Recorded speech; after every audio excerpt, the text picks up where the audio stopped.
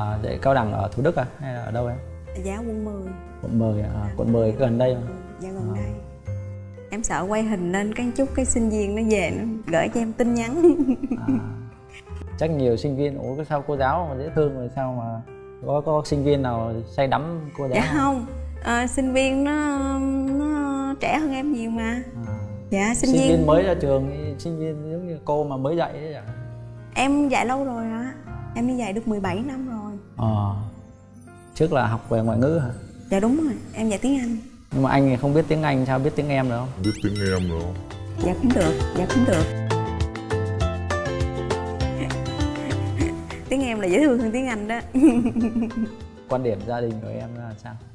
Dạ thì à, em chỉ cần người ờ, sống có trách nhiệm, sống tử tế là được rồi ạ. ờ. Thì em nhìn anh thì sao? Em thấy hình như anh cũng là người ờ, của gia đình có trách nhiệm, cũng chín chắn hả? Chứ anh cũng phong cách cũng là điềm tĩnh phải không anh? Người điềm tĩnh ha. không thì tùy lúc em Tùy lúc cũng lúc sôi nổi lắm quen quen là cũng sôi nổi lắm Dạ. nhà có đông anh em không Vậy nhà em có ba chị em gái. ba chị em gái Em là chị lớn nhất á. ờ chị hai luôn à. Dạ đúng rồi, chị hai. Còn anh?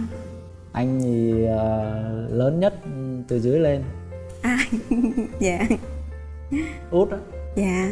Nhà anh có mấy anh chị em nhà à? anh có bốn bốn anh chị em hai trai hai gái Dạ. mấy anh chị là gia đình hết đầy đủ hết rồi Dạ. Chắc là ba mẹ của anh vẫn còn khỏe mạnh à. Ờ, ba mẹ anh vẫn còn khỏe Dạ. Rồi, cảm ơn em ba mẹ em lớn tuổi chưa Ba mẹ em chắc cục mẹ em cũng được 65 mà. à. Dạ. Nhưng mà mẹ em vẫn còn đi làm. Ủa còn làm à? 65 mà vẫn Mẹ em làm. thích đi làm lắm mà. Tức là mẹ em vẫn còn làm tại cái trường học mà lúc trước mẹ em đã từng làm á. Cái À. người ta cho mẹ em làm tiếp. à. Cái mẹ em vẫn cứ đi làm thôi. Ủa nhà là về có truyền thống về dạy học à? Dạ chỉ có mẹ em với em thôi. anh cũng chị gái cũng làm dạy học Dạ. à, cũng dạy cấp 2 Cấp 2 à. Anh đói bụng thì anh ăn đi anh. ờ Dạ. mời em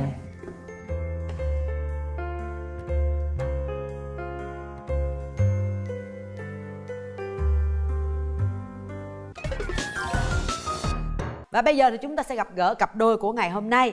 À, Đợi Tường trong ít phút nha Ở ít giây thôi nha. Tường ra mời bạn gái của mình vào nè. Rồi hai bước nữa thôi bên trái. Mời hai bạn mở mặt nạ của mình ra. Đây chị mở giúp cho. À, chị.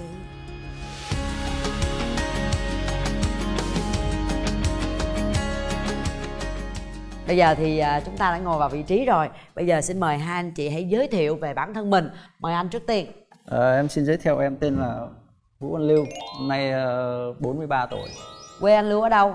quê em ở Thái Bình Thái Bình Mình vào đây lâu chưa anh Lưu? em vào đây được uh, 5 năm này 5 năm mình đang làm công năm. việc gì? em Mình đang làm, công- bên ờ, công ty xây lắp điện 2 Ừm, Rồi mình sống trong này với ai? Đấy, em ở mình Ở mình, ở chỗ nào, quận mấy? em ờ, ở quận 5 làm thì quận 3 Mời à, em giới thiệu Dạ xin chào chị Cát Tường, xin chào các bạn. Mình tên là Quỳnh, à, hiện đang làm giảng viên tiếng Anh ở một trường cao đẳng tại thành phố Hồ Chí Minh. ừ. Mình ở Sài Gòn từ nhỏ. Quỳnh năm nay bao nhiêu tuổi? Dạ năm nay em được 39. 39 Điểm mạnh, điểm yếu của em là gì à, Quỳnh? Dạ điểm mạnh của em là em chăm chỉ với em à, chịu khó. Ừ. Còn điểm yếu của em á hay quên. Hay quên Dạ nhưng mà em học bài thì em thuộc. Nhưng mà em không biết sao có nhiều chuyện em hay quên quá.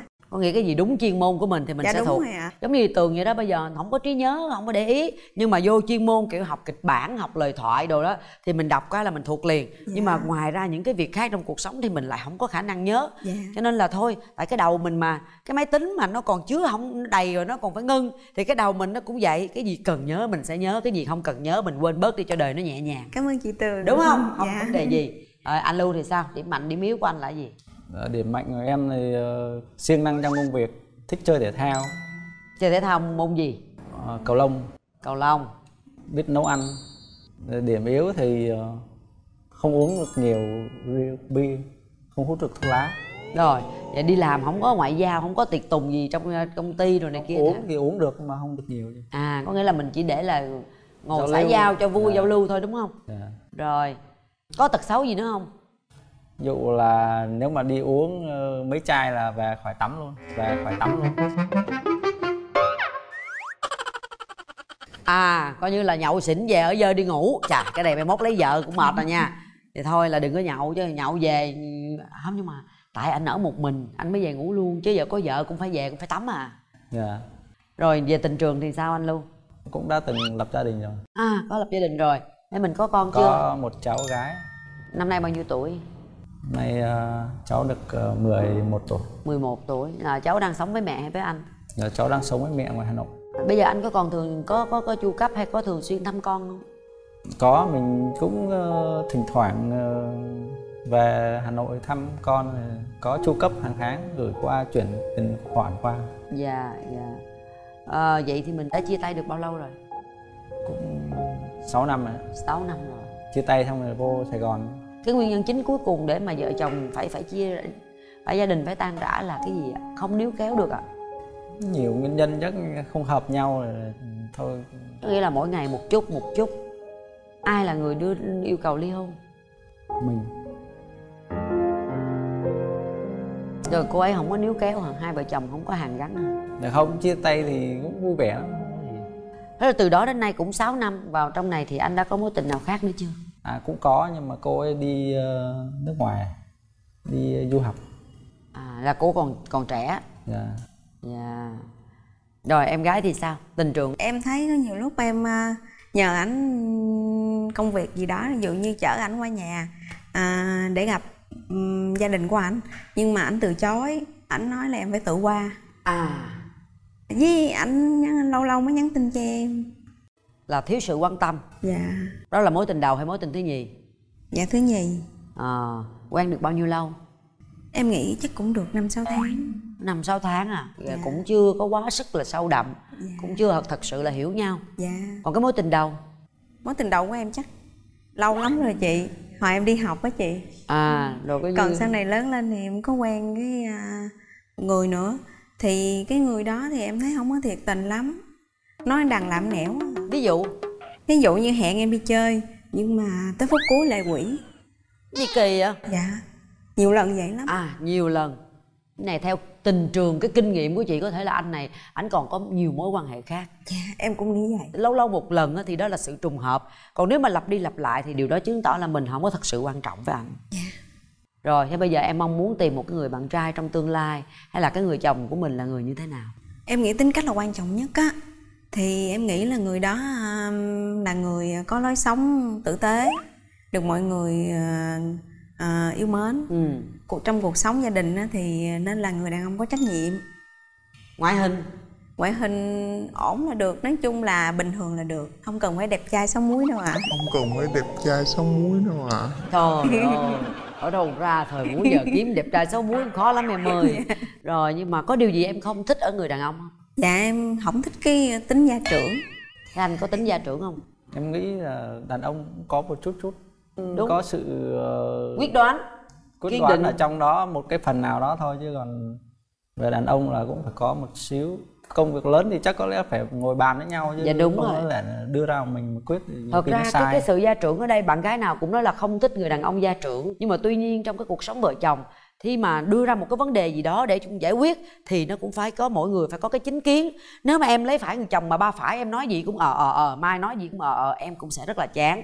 Cho nên cái người đàn ông nếu mà trụ cột gia đình hoặc là có cái sự hiểu biết thì người ta cũng có thể đưa ra và bảo vệ cái chính kiến của mình. Thì cái đó là có một cái chút gia trưởng, chị thấy nó cũng tốt tuy nhiên cái gia trưởng mà người phụ nữ không thích ở đây là gì? Có là áp đặt người vợ của mình làm theo cái ý của mình. Ví dụ như là ờ à, em không được là giao thiệp với là bạn trai hay là em không được đi làm em chỉ ở nhà nội trợ bếp núc thiêu thùa ví dụ vậy. Thì cái sự áp đặt đó nó mới là cái gia trưởng.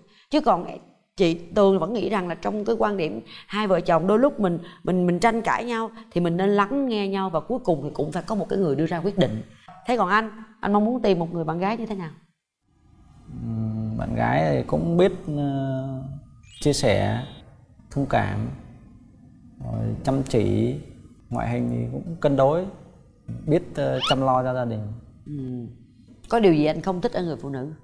Cam rành nhậu nhiều. Nhậu nhiều? Chắc là không thích. Cô giáo có nhậu nhiều không cô giáo?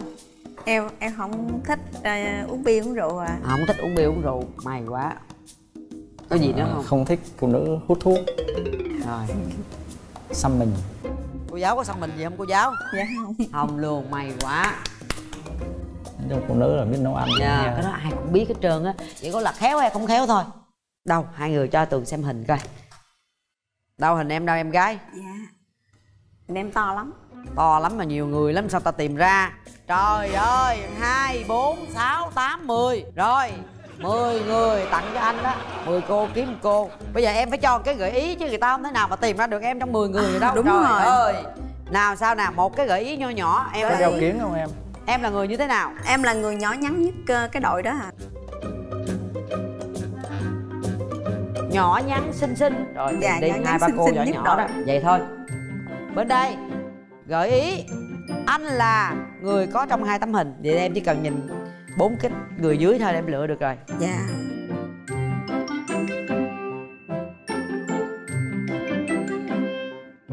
Chắc là này. Sao em biết hay vậy? Gì vô chỉ cái bụp liền vậy.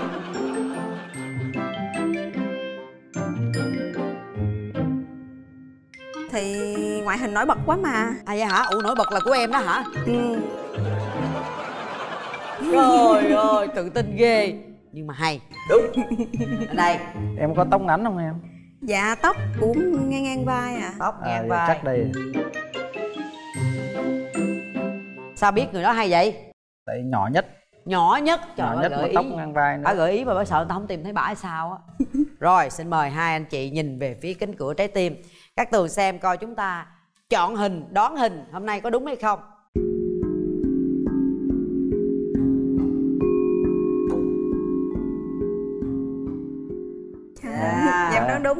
sao ạ anh anh đoán cũng đúng rồi đó rồi thế cánh cửa trái tim mở ra cảm nhận đầu tiên của anh là gì? Thấy em cũng dễ thương.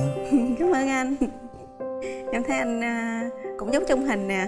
À. Hay quá ha Hay- diễn cho chúng liền luôn ha. Dạ. Em anh không photoshop. Em cũng đâu có photoshop đâu. Rồi thôi được rồi. Này này này này này cái này à, nay tới ờ, chương trình anh có món quà tặng em. Dạ em cảm ơn anh. Dạ. Cảm ơn anh hoa hoa rất là đẹp đó anh. Mà có còn nhiều món- hoa nữa chứ. Có món quà anh hoa trời ơi con hoa vừa quà nữa. Trời ơi em hạnh phúc ghê. Cảm ơn anh nhiều nha. Trời ơi, cô giáo anh. dẻo miệng dễ sợ. Dạ em có món quà nhỏ xíu giống như em vậy đó. Cũng À, tặng rồi, anh. dạ. Bây giờ tôi tò mò quá nè. Tôi coi cái món quà nhỏ xíu là món quà gì nè. Có thể tiết lộ được không nè? Rồi hơi tò mò hú gì Cái gì vậy anh? À sô cô la. Ý nghĩa của nó là gì em? Dạ sô cô la. Ý nghĩa đó là một cái tình cảm à, thân thiết à, và gửi gắm những cái à, tình cảm của mình trong đó để Trời. cho đối phương nhớ đến mình nè. Trời ơi cô nói mà cô lúng liếng giống kiểu tình trong như đã mặt ngoài còn e vậy đó. Rồi quà này ý nghĩa gì nè anh anh nghĩ là cái khăn đó là em đeo quàng cho nó lúc ờ, giống như là trang điểm cho nó thêm nổi bật hơn. Dạ, em thích lắm luôn. Đâu coi. Dạ cái khăn quàng cổ đúng không anh? À, dạ rất là họa tiết rất là xinh nè. À cái này đi dạy ha Trời Dạ. xe xe lạnh choàng vô cái cổ nó ấm lòng dạ. gì đâu ha. Đi du lịch nữa chị. Du lịch đấy ha. Rồi chúc mừng Cảm hai bạn. anh. bây giờ thì à, chị tường sẽ dành cho hai anh chị một chút xíu thời gian để chúng ta vừa ăn uống vừa trò chuyện với nhau.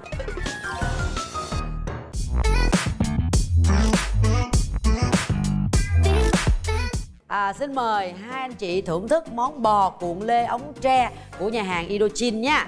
Rồi, hãy thưởng thức Rồi, trò chuyện. Rồi, cảm Ít ơn. phút chị Tường sẽ quay lại. Mời hai bạn ngon miệng. Cảm ơn chị tường. Anh có đói không anh? Anh cũng đói. Vậy mời sáng anh cũng chưa ăn. Anh sáng anh chưa ăn sáng à, à vội và lại đi làm quá.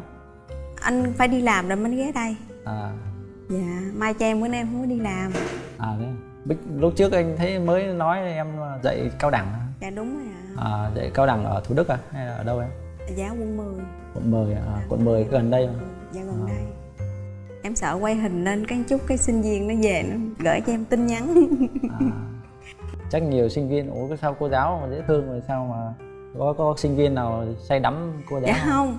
Ờ, sinh viên nó nó trẻ hơn em nhiều mà. À, dạ sinh, sinh viên, viên mới ra trường sinh viên giống như cô mà mới dạy ấy chẳng em dạy lâu rồi á em đi dạy được 17 năm rồi. Ờ trước là học về ngoại ngữ hả?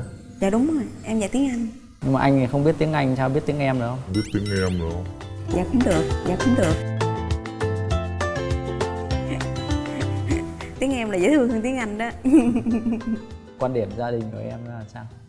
Dạ thì à, em chỉ cần người à, sống có trách nhiệm sống tử tế là được rồi ạ. Ờ thì em nhìn anh thì sao?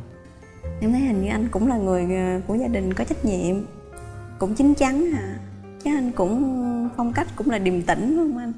Người điềm tĩnh ha? Không thì tùy lúc em. Tùy lúc cũng lúc sôi nổi lắm. Quen quen là cũng sôi nổi lắm. Dạ. Nhà có đông anh em không? Dạ nhà em có ba chị em gái. Ba chị em gái. Em là chị lớn nhất á. Ờ chị hai luôn à dạ đúng rồi chị hai. Còn anh? Anh thì ờ, lớn nhất từ dưới lên. À dạ. Út á. Dạ nhà anh có mấy anh chị em nhà à anh có bốn bốn anh chị em hai trai hai gái. Dạ. Ừ, mấy anh chị là gia đình hết đầy đủ hết rồi. Dạ. Chắc là ba mẹ của anh vẫn còn khỏe mạnh à? Ờ, ba mẹ anh vẫn còn khỏe. Dạ. Rồi, cảm ơn em. Ba mẹ em lớn tuổi chưa? Ba mẹ em chắc cũng mẹ em cũng được 65 mà. À. dạ. Nhưng mà mẹ em vẫn còn đi làm. Ủa còn làm à? 65 mà vẫn mẹ em làm. thích đi làm lắm mà. Tức là mẹ em vẫn còn làm tại cái trường học mà lúc trước mẹ em đã từng làm á cái À. người ta cho mẹ em làm tiếp. À. cái mẹ em vẫn cứ đi làm thôi. Ủa nhà là về có truyền thống về dạy học à? dạ chỉ có mẹ em với em thôi. Anh cũng chị gái cũng làm dạy học.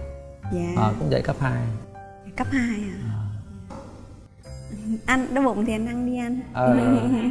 Dạ. mời em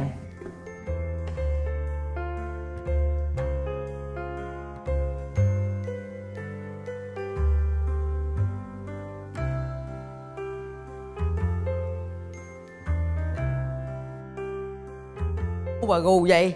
Không nghe nói gì hết trơn hết trọi vậy. Em nói xong rồi mới ăn trời ơi nói xong rồi đó hả? Dạ. Đang mải ăn sáng chưa ăn à Dạ. câu chuyện tình yêu mà mà mà mà nói có chút xíu vậy thôi. Bởi vì ta nói con đường tình yêu phải thông qua cái bao tử bao tử đang đói cũng không tập trung trò chuyện được. Dạ. đúng không? Nhưng mà đồ ăn ngon phải không? Dạ ngon. Rồi bây giờ thí dụ được thì khi nào anh tính tới ờ, kết hôn nè? 6 tháng trở lên. 6 tháng trở lên. Và anh định là lập năm nghiệp 6 tháng an cư trong này luôn hay là sau này mình sẽ quay về quê à không em định ờ, ở đây luôn. Định ở đây luôn. Mình vẫn mong muốn tiếp tục sinh con đúng không? Dạ đúng rồi. Dạ. Rồi còn em thì sao? Dạ em nghĩ cũng nên tìm hiểu trước à, để coi hai bên có hợp nhau không. Nhưng mà quan điểm của em cái suy nghĩ của em mà đó giờ em nghĩ thì em tìm hiểu bao nhiêu lâu thì sẽ là đủ tùy người á em thấy bạn em mới có một tháng kết hôn rồi á. Vậy á hả? Dạ. Nhưng mà em nghĩ nếu như em như vậy có được không? Bình thường một tháng hai tháng ba tháng này cũng bình thường à. Ừ cũng nhanh quá ha. Có nghĩa là ví dụ như tầm 6 tháng một năm thì em vẫn cảm thấy thời gian đó là phù hợp đúng không? Dạ. Tại vì có nhiều người người ta không tôi phải quen hai ba năm nữa tôi mới lấy chồng. Dạ. hay là có nhiều người tại vì tuổi mình cũng khá lớn. Rồi à, hôm nay à, mình đi với ai?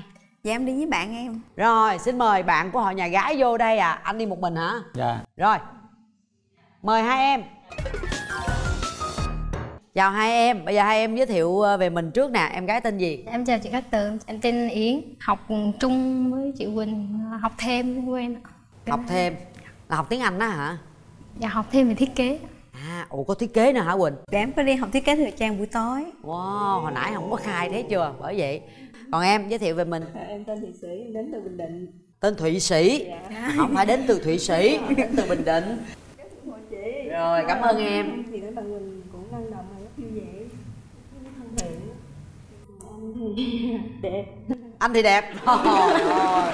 còn không biết cảm ơn người ta nữa. Đó. Yến à, có lời gì muốn nói với quỳnh hay là có lời gì muốn nói với anh đây không? Dạ, em thì ai thấy anh cũng nghiêm túc, trưởng chạc, hơn chị độ tuổi đó cũng được. Em nghĩ à, hai người cũng hợp nhau. Chị Quỳnh thì theo kiểu truyền thống, không có à, nhậu nhẹt hay là gì giống như anh nói. cái tính cách thì để bạn này cũng còn phong kiến thì cũng rất là thích hợp của phụ nữ gia đình người bạn của tình chứ cho nhau cơ hội để tìm hiểu. Rồi cảm ơn hai bạn nha. Hy vọng là những cái lời chia sẻ của hai em cũng sẽ hỗ trợ cho cái cặp đôi ngồi ở đây bởi vì nhiều khi ngồi đây người ta rung hồi hộp nghĩa là mình được thống nhất là cặp đôi này có thể cho nhau cơ hội tìm hiểu đúng không? Rồi cảm ơn hai bạn. Bây giờ chúng ta tiếp tục theo dõi câu chuyện của hai nhân vật chính nha bây giờ mình chơi à, mấy cái trò chơi nha. Dạ. à, mình bốc thăm đi trả lời câu hỏi ở trong này nè. Tôi coi trước coi. Trời ơi. Vui vui lắm. Vui lắm ạ ờ, thích cặp màu lớn lên. Hả? Cái gì vậy? Bạn nam hãy cõng bạn nữ đi một vòng vừa đi vừa hát một ca khúc dễ thương. Làm được không anh? Cống thì được á. Mời anh mà có vừa đi vừa hát nữa nha một Hát vòng quanh đây đỏ một vòng tròn quanh Cảm cái ơn. bàn anh. này Hát vừa đó. hát cho em đổi đi chị. Không cái này chơi cho nó vui. Đồng ý không? Má em biết má em đánh em. Trời ơi má biết má la mà má không Đúng biết đâu. má không biết đâu. Ông anh này anh cao to bự anh khỏe đó. Mình phải thử sức mạnh của ảnh coi như thế nào nữa chứ. Đổi đi mà. Sao đổi được? Ừ. Đổi mà. Đổi nha. Ở dưới người ta còn kêu cổng kìa.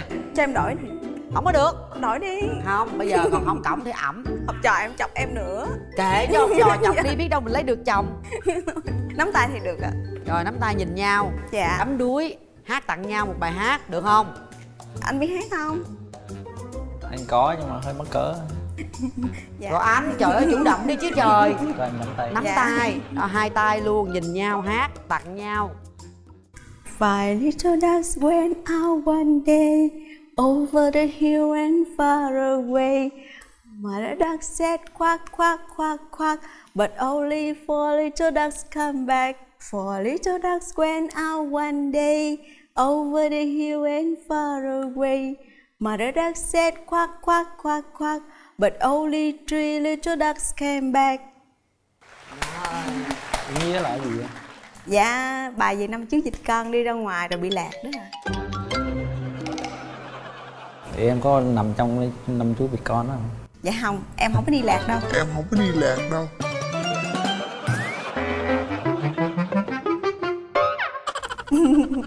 Thôi về chỗ hết Dạ thời gian. chỗ hết thời gian rồi. Rồi mời anh bóc một lá bài. Bạn nữ hãy kể ra năm tật xấu nhất của bản thân. Bạn Này, nữ hay hãy kể ra năm tật xấu nhất của bản thân. Dạ Em ờ, hậu đậu à, Em hay để rơi đồ. Nhưng mà em cũng rất là nhanh tay em chụp lại được. À, Cái thứ hai thì em hay đi sát giờ lắm. Cho nên đôi lúc em xui thì em đi trễ. Rồi. Đó là cái tật xấu em cần phải khắc phục. Tức là em phải dành ra nhiều thời gian hơn. À, Tật xấu thứ ba Đó là em lười dọn phòng. Rất thành thật rất thẳng thắn. Dạ. Nhưng mà chính vì em lười dọn phòng cho nên em luôn để phòng của em luôn trong tình trạng rất là gọn ghẽ. Rồi nói chung phòng em rất là gọn ghẽ nhưng mà tại em lười thôi, cho nên phải để mọi thứ rất là nguyên chỗ. Chứ em không làm cho nó bày bừa ra. Tật xấu thứ tư của em, đó là em hay đi ngủ trễ. Em biết đi ngủ trễ là không có tốt, nhưng mà em cứ lại hoài em đi ngủ trễ lắm. Rồi em hay thức dậy ờ, hơi bị trễ nữa chứ thật ra đi ngủ sớm rất là tốt. Đúng rồi đẹp da Đẹp nữa. da này nọ. Ừ, tinh thần nó tập trung nữa. Dạ. Nói vậy thôi chứ gì tường lúc nào cũng sau 12 giờ đêm mới ngủ. Rồi như tường ngủ trễ. À, tại cái công việc chị nó vậy rồi. Nhiều khi đi làm về đến nhà là đã khuya rồi. Dạ. Ừ. rồi. Tật À, xấu cuối cùng của em đó là là, gì? em à, à, không có chăm vận động á. Em lười tập thể dục. Thiếu thể thao thiếu dạ vận đúng động. à đó là những cái tật xấu của cô gái ấy. Thật ra chơi cái trò chơi này chị An chi để cho mọi người có thêm cái sự hiểu nhau hoặc là có thêm sự va chạm để mình kiểm tra lại những cái thông tin à, của bản thân mình kiểm tra lại cảm xúc của mình để trước khi chúng ta đưa ra cái quyết định. À, nên ngày hôm nay đến với chương trình thì thì anh muốn nói điều gì nữa không ạ? Với cô gái này. Ờ, bạn bên kia là cũng người là chăm chỉ. Ờ, nhưng có cái điều là chắc có là khó tính hay sao á. À rồi còn em em có cảm nhận và suy nghĩ như thế nào về cuộc gặp mặt hôm nay? Về cái người ngồi trước mặt hay là ngồi hay là về bản thân của mình cũng được cảm xúc của mình? Dạ thì em thấy à, anh tính cũng hiền có hơi e dè một chút trước đám đông chứ là anh không có quen đối diện với đám đông. Còn em chắc tại em gặp sinh viên nhiều rồi đó cho nên em cũng có vẻ dạng dạng một tí. Đâu có dạng đâu kêu có hát có kêu có cổng điền vòng thôi mà làm còn không được. Má đánh. Ừ má đánh về ở với má luôn nha cưng rồi còn Dạ. gì nữa không? À, thì em cũng có ấn tượng tốt về anh. Rồi. Tại vì đối với em thì đơn giản vậy đó chỉ cần là người hiền hiền là được rồi.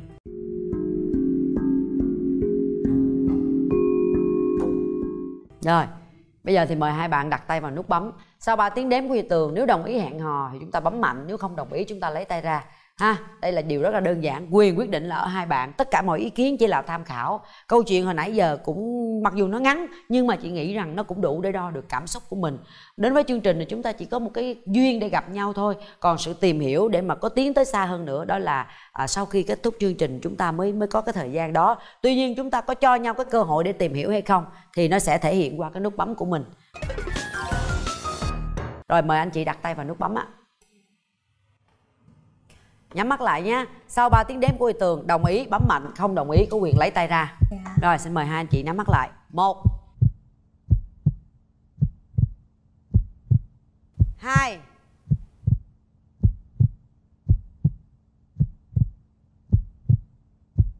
Ba.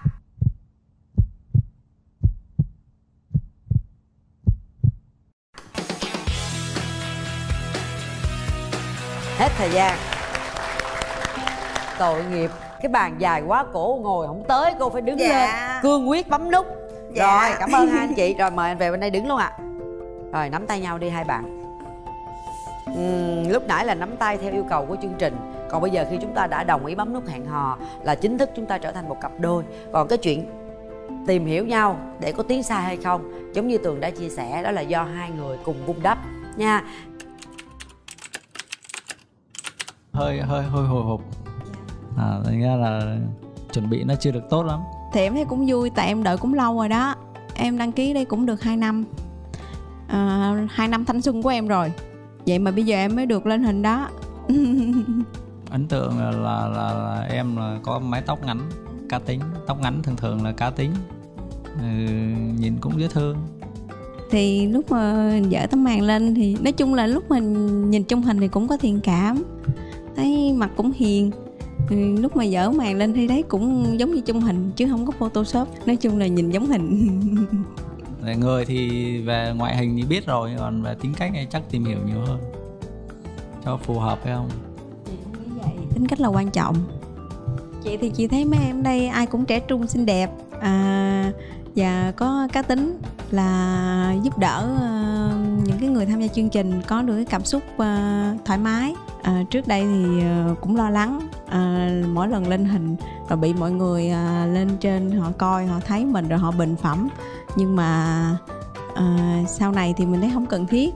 Thì mình cứ ờ, chừng mực ờ, từ tốn là được rồi. Khi nào cần vui thì mình vui khi nào mình cần dịu dàng thì mình dịu dàng. Cho nên mọi người cứ ờ, an tâm. Ờ, mình cứ theo cảm xúc của mình ờ, là mình có thể ờ, ờ, có được cái cơ hội. Nếu như mình không đi thì mình sẽ không bao giờ có cơ hội chúc mọi người ai cũng đều có cơ hội À, trước tiên là chúc mừng cả hai anh chị đã bấm nút hẹn hò với nhau trong chương trình. Đây là một món quà chương trình dành để mình làm đẹp. Phần quà dành cho em là bộ son Yurika đến từ Nhật Bản với chất son lì không chì, mang nhiều màu sắc trẻ trung, phù hợp với mọi cá tính sẽ giúp cho bạn tự tin nổi bật trong mọi ánh nhìn. À, đây là những chiếc vé xem phim. Mời hai anh chị đến xem phim ở rạp chiếu Ừ, phim. Cinebox ha.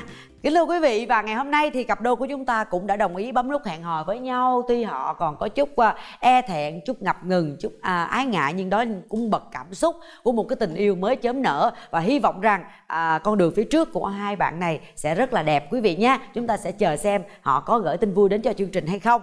Và bây giờ thì à, thời lượng phát sóng của chương trình đã hết rồi quý vị.